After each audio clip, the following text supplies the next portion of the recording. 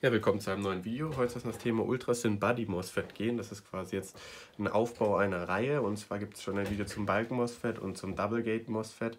Ähm, das hier ist quasi so eine Variation des Balken MOSFETs. Wir haben auch ein Video dazu gemacht, wie dieser Grund MOSFET, also der Balken MOSFET, denn überhaupt produziert wird, hergestellt wird. Die ganzen Videos sind alle unten verlinkt, könnt ihr euch gerne auch anschauen, falls das hier schon zu kompliziert wäre. Ähm, ansonsten gibt es da auch eine Menge Playlists von uns zu, die sind auch nochmal unten verlinkt. Könnt ihr gerne vorbeischauen. Ähm, wir wollen uns wieder anschauen, was ist denn der Aufbau von so einem Balken-MOSFET ähm, und das Banddiagramm. Vor allem, wenn wir uns das Ganze mal anschauen, was ist der Unterschied zwischen einem Balken-MOSFET und einem Ultrasin-Body-MOSFET.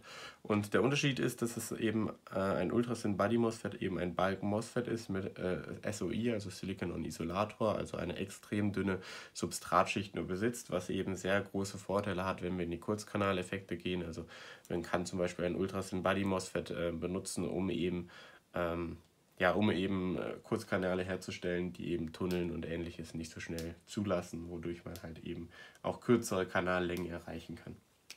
Schauen wir uns also mal den Aufbau an.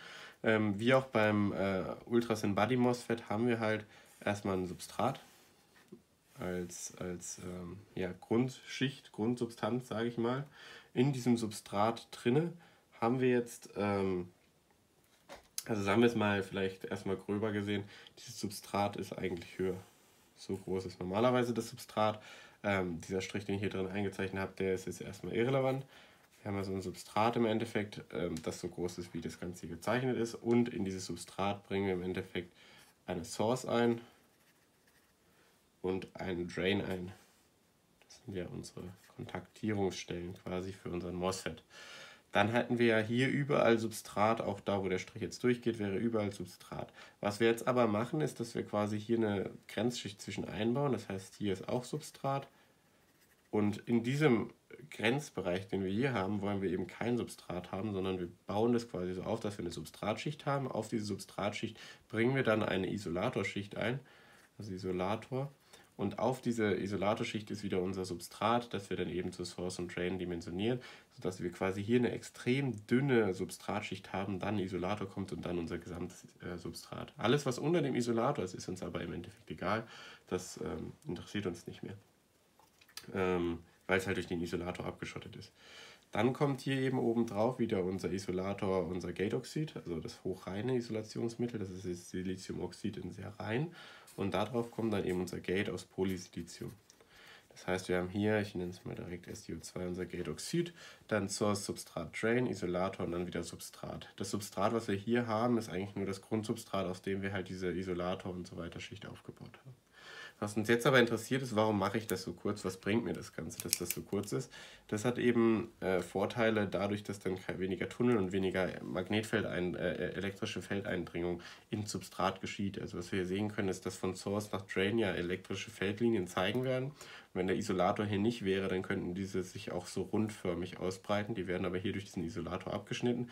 Deswegen können sie tatsächlich nur eindimensional von Source nach Drain sich ausbreiten und nicht auch noch in Substratrichtung rein, was eben dafür sorgt, dass keine Sättigung, ähm, äh, was eben dafür sorgt, dass diese typische MOSFET-Sättigung, die man halt kennt, also ich denke, die Kennlinie von dem MOSFET ist bekannt, bei Drain ähm, Strom zu Drain-Source-Spannung, das sättigt das Ganze. Das würde nicht mehr geschehen, wenn wir eben diese Substratschicht ähm, komplett groß machen, also Isolator rausnehmen äh, und das Ganze viel kleiner bauen, also quasi einen Kurzkanal bauen, dann würde diese Sättigung nicht mehr eintreten. Deswegen bringt uns diese Silikon- und Isolatorschicht, die wir beim Ultrasound Body MOSFET haben, eben hier den Vorteil.